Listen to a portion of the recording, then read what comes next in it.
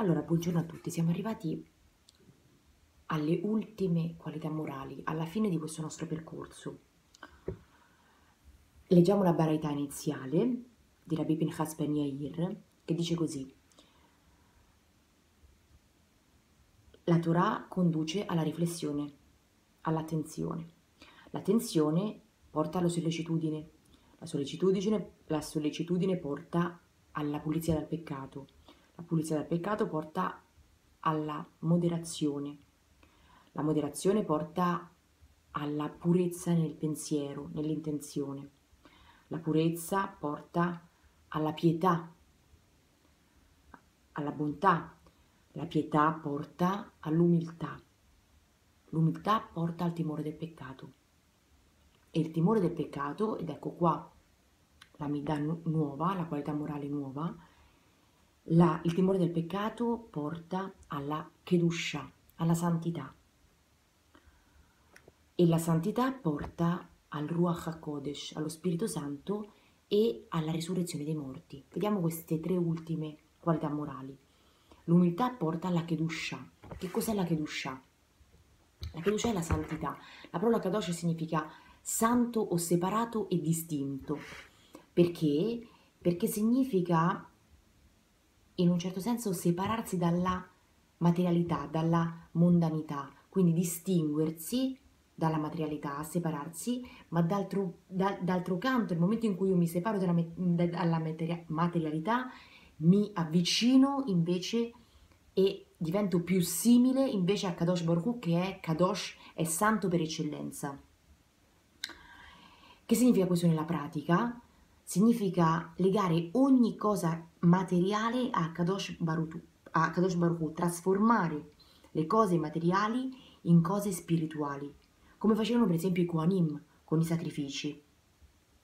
Come detto, i sacerdoti ne mangino e i peccati di chi ha offerto l'offerta siano espiati. Quindi l'azione del, del, dell'alimentazione qui da parte dei Kohanim in realtà, che è un'azione materiale, veniva trasformata in qualcosa di completamente spirituale, che permetteva addirittura alle persone che portavano l'offerta di espiare i loro peccati. Quindi qua viene detto che non solo ogni cosa materiale deve essere legata a Kadosh Baruch Hu, ma che viene trasformata completamente in qualcosa di spirituale. Questo è il livello più alto della, della santità. E, ehm, e, però dice Ramchal, questa è una mida così alta e così complicata da raggiungere che ovviamente noi ci dobbiamo sforzare, ma che può essere concessa solo da Kadosh Baruch non dipende completamente da, da noi. Come scritto, se per santificarsi un uomo si impegna un poco, sarà santificato con abbondanza, quindi di sicuro si parte dal nostro sforzo, però poi l'arrivo, eh, diciamo, la, la, il raggiungimento della qualità morale dipende da Kadosh Baruch. E quindi le persone che arrivano a raggiungere questa qualità morale sono definite, dice Ramchal, come un uomo che cammini liberamente al cospetto del Signore nel mondo a venire, sebbene sia ancora un cittadino di questo mondo. Quindi chi arriva, ovviamente molto pochi, chi arriva a questo livello è come se fosse già nel mondo a venire, nonostante, fosse, nonostante sia ancora ovviamente legato a questo mondo. Il Ramchal fa l'esempio dei patriarchi, che sono considerati proprio la Merkavah, il carro di Akadosh Baruch come se tutte le loro azioni, tutti i loro comportamenti siano proprio guidati da Akadosh Baruch siano proprio un e le, non solo guidati ma legati da, da Kadosh Baruch ogni loro azione. Questo significa essere la Merkavah, questo essere il carro di Akadosh Baruch che era una qualità dei patriarchi. Questo è il livello di chi raggiunge la qualità morale della Kedusha. E in questo modo, dice Ramchal, la presenza di Akadosh Baruch sarà sempre su di loro come lo era sopra il Tempio il Mishkan e il Bet HaMikdash. Questo è il livello. Andiamo a leggere un piccolo testo e dice così, in breve, santità vuol dire per un uomo unirsi così intimamente al suo Dio da non potersene mai separare o staccare in qualsiasi attività decida di, di intraprendere. Si può anzi dire che quando costui si serve di qualche oggetto materiale, sono gli stessi oggetti che egli usa ad essere elevati e non lui a discendere dalla sua unione spirituale per farne uso. Quindi addirittura sono gli oggetti materiali che sono elevati.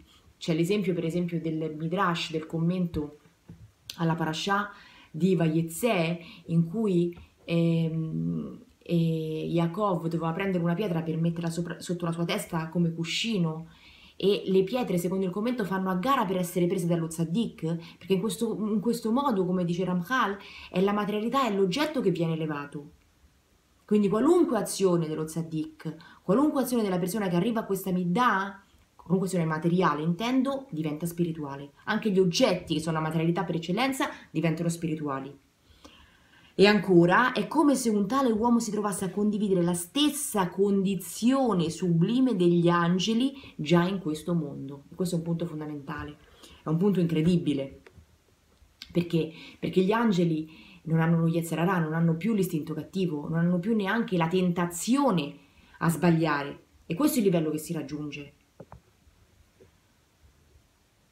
Andiamo avanti. Quali sono i mezzi per raggiungere questa qualità morale?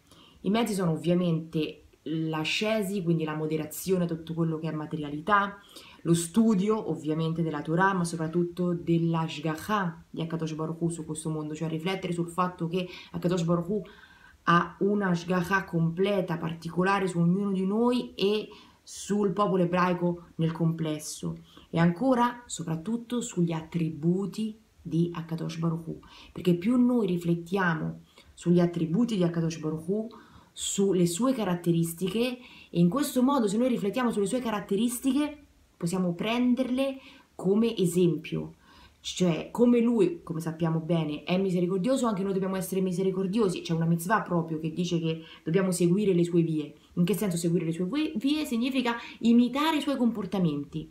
E quindi per questo dobbiamo studiare gli attributi di Akadosh Baruch Hu per fare in modo che le nostre qualità morali migliorino attraverso l'imitazione degli, degli attributi di Akadosh Baruch Hu. Quali sono invece gli ostacoli?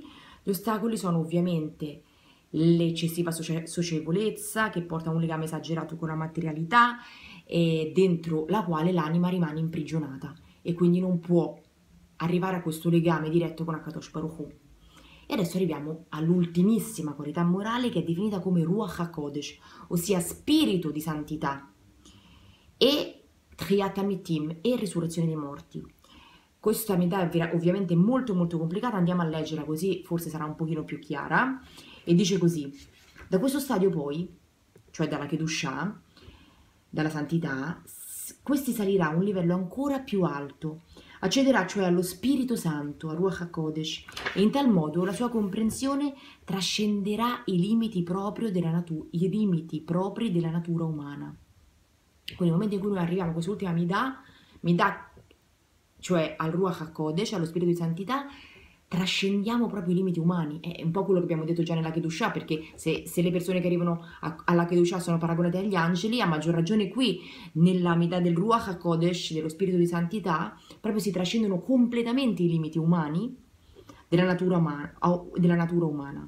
Costui potrà raggiungere una comunione con Dio così elevata da essere investito della forza che fa risorgere i morti, la stessa che possedevano Eliau ed Elisha, che sono due profeti eh, molto importanti. Quindi qua che sta dicendo, nel momento in cui io arrivo a questo ultimo livello, sono proprio in comunione completa con Akadosh Baruch Hu, attaccato proprio a Kadosh Baruch Hu e quindi, come dicevamo prima, più io sono vicino a Kadosh Baruch Hu, più io imito le sue caratteristiche, i suoi comportamenti, più io posso arrivare ad acquisire anche le capacità, le caratteristiche che Akadosh Baruch Hu stesso ha, quindi come lui fa risorgere i morti, Akadosh Baruch Hu ovviamente, così riesce lo tzaddik che ha acquisito tutte le qualità di Akadosh Baruch Hu per imitazione e si è attaccato completamente a Akadosh Baruch Hu. Ovviamente questo possono arrivarci solamente i grandi profeti, si parla di Eliau, si parla di Elisha, si parla, si parla di grandi tzaddikim, però cosa ci sta insegnando qua dal punto di vista un pochino più microscopico, un pochino più diretto per la nostra vita, cioè più noi ci attacchiamo a Kadosh Baruch Hu, più noi ci attacchiamo alle sue qualità morali, più noi ci attacchiamo alle mitzvot, più riusciamo ad assomigliare a lui e quindi ad acquisire le sue qualità e quindi a portare vita, a portare vitalità a noi stessi e agli altri, in un certo senso. In questo senso forse si può intendere il Triat Ametim, per far risorgere i morti, anche, oltre a livello ovviamente molto più, eh, diciamo, fuori di metafora, che è quello proprio di far risorgere i morti come facevano i Nevim, i profeti. E ora siamo arrivati alla conclusione.